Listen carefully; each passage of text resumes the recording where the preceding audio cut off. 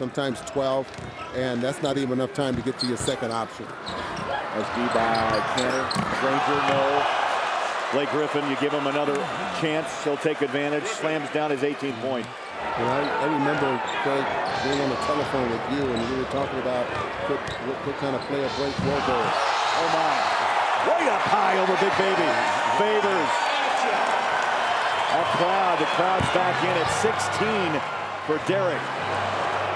Granger puts it back up, and then Blake just comes right over the top. You know, he's not a, and then Derrick decides, hey, I'm going to challenge Big Baby, see if you can get 300 pounds up and block this. Look at that. Goes right over the top of it. Some pretty good dunks in this basketball game tonight, huh? 85-78 Jazz down by seven.